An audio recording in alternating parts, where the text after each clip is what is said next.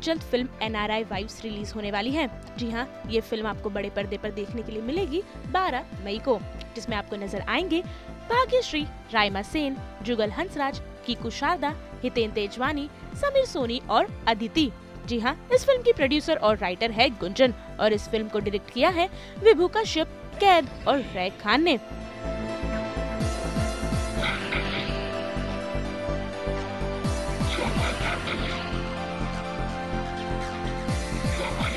तो ऐसे में सास बहू और बेटिया ने की इस एनआरआई वाइफ्स की टीम से खास मुलाकात। तो आइए करते हैं उनसे कुछ बातचीत और जानते हैं कि आखिर वो अपनी आने वाली फ़िल्म के लिए कितने ज़्यादा एक्साइटेड हैं।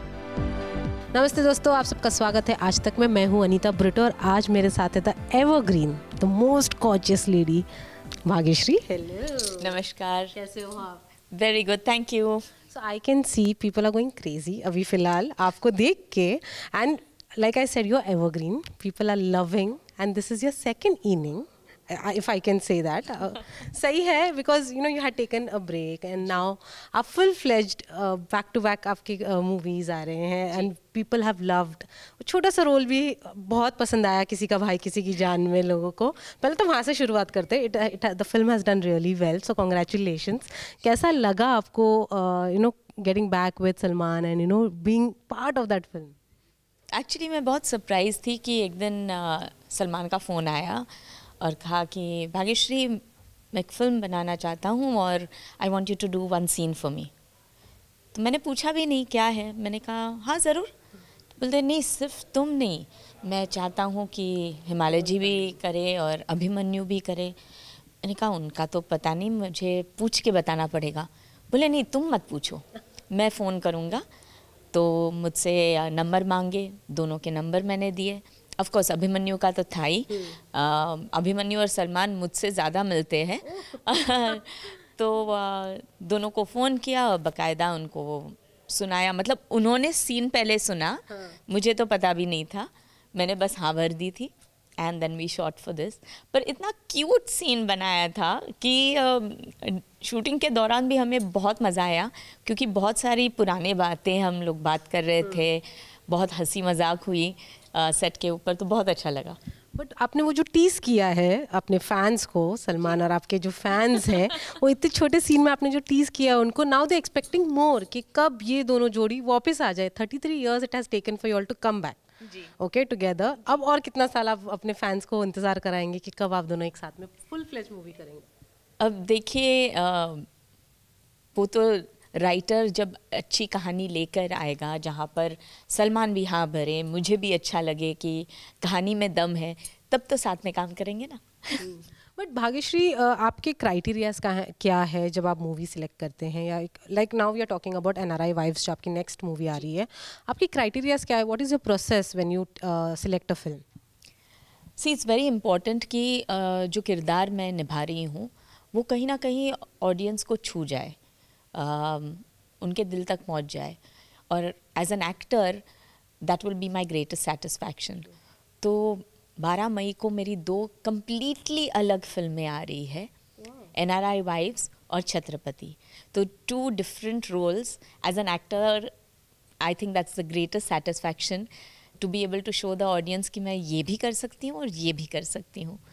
So uh, can we say that we are in the golden era or when it comes to making films and scripts और जो लेडी uh, मतलब वुमेन एक्टर्स के लिए जो लिख रहे हैं इट्स वेरी डिफरेंट जो पहले जैसे होता था अब बहुत डिफरेंट हो रहा है। तो do you think we are in a good period right now अभी भी बहुत मौका है जहाँ पर stories for my age group of people can be written I think mature love stories still have to come to India लोग सोचते हैं सिर्फ़ बचपना में या कॉलेज में प्यार होता है और उसके बाद होता ही नहीं है।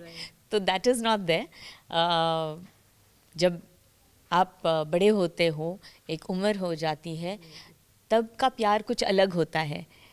So I think we still in a place where lots more stories can come out like that Absolutely, I agree. And how different will be this NRI Wives for you as an actor? As uh, it has a very different story. It has four different stories, and you're part of one of those stories. How different is that? Uh, ये एक ऐसा किरदार है जहाँ पर uh, लोग uh, सुमन को नहीं देख पाएंगे so it's it's very different I think the best part of N R I wives is ये कहानियाँ हैं उन लोगों के बारे में जिनको हम जानते हैं पहचानते हैं शायद हमारी लाइफ का हिस्सा रह चुके हैं या है। लेकिन हम उन्हें एक्सेप्ट नहीं करते क्योंकि we like to pass judgement on people कि मॉरली यही सही है यही करना चाहिए। लेकिन जब तक हम uh, उनके पथ पर नहीं चले तब तब तक हमें ये नहीं पता चलेगा कि शायद हम वही डिसीज़न ले जैसे वो लेते हैं। So the stories are about love versus desires कभी कभी एक रिलेशनशिप में एक ऐसा दौर आ जाता है जहाँ पर हम वो सारी चीज़ें करते हैं जो हमने सीखा है या सुना है कि जो नहीं करना चाहिए। And yet you are not wrong कि कहीं ना कहीं लाइफ के अंदर कुछ सर्कमस्टांसेस वैसे होते हैं कुछ चीज़ें ऐसे होती है जिनसे हम दूर नहीं भाग भाग सकते और वही चीज़ हमें करनी पड़ती है या हो जाती है। और ऐसे लोग हैं हमारे इर्द गिर्द हैं so the stories are about those kind of people you know we speak about love we speak about desire but जब हम औरतों को बोलते हैं लव डिज़ायर के बारे में वी आर पुट डाउन मतलब we are not suppose to express our love and our desires whereas man can express however they want to express वो एक है, अभी तक वो जो बैरियर है वो निकला नहीं है। आपका क्या थाट्स है इस पर so watch N R I wives ये बैरियर तोड़ने के लिए हम लोग आए हैं कि एक औरत को भी एक एहसास होता है, प्यार और डिज़ायर्स के बीच में जो गैप होता है उसे हम मिटाने की कोशिश करते हैं। बहुत सारी कहानियाँ हैं जो आ, ये सब बातें कर रही है। So these four stories are on four different relationships जहाँ पर एक रिलेशनशिप कायम है एक औरत की ज़िंदगी में और फिर भी वो एक दूसरे रिलेशनशिप को एक अलग नज़रिए से देखती है। So we are talking about those you know op- you'll have many other stories also like uh, open marriage के बारे में भी बात हो रही है सीरीज़ uh, में। थोड़ा और उनके बारे में आप क्या बताना चाहते हैं? मैं बताना नहीं चाहती हूँ मैं लोगों से ये कहना चाहती हूँ कि 12 मई को आप देखिए एन आर आई वाइव्स और कुछ ऐसी कहानियाँ आपको नज़र आएगी जो पहले कभी आपने सुनी नहीं होगी। भाग्यश्री मुझे ये जानना आप आपसे कि what is the secret of marriage आप यंगस्टर्स को क्या बताएँगे? What is the actual ingredients for a happily married life दोस्ती। बहुत ज़रूरी है कि आप दोस्त बने सबसे पहले क्योंकि जब आ, दोस्ती होती है तब हम एक्सपेक्टेशंस कम रखते हैं और ग्रजेस को कैरी नहीं करते क्योंकि दोस्ती के मायने अलग होते हैं। So we accept a person for what they are जो आप हो सो मेरे दोस्त हो। आप दूसरे इंसान को बदलने की कोशिश नहीं करते and I think that is what makes marriage work but जाते जाते हमसे ये बताइए ये दो मूवी तो बारह तारीख को रिलीज़ हो रही है Chhatrapati and N R I wives what next where can we see Bhagyashree doing what and surprising us well there is another film that will be on Netflix it's called Happy Teachers Day और वो बहुत ही अलग है। Um, तो हाँ दौर अभी शुरू हुआ है और जब तक आप पसंद करेंगे तब तक हम स्क्रीन पे आपको एंटरटेन करते रहेंगे। On that note thank you so much हमसे बात करने के and all the very best thank you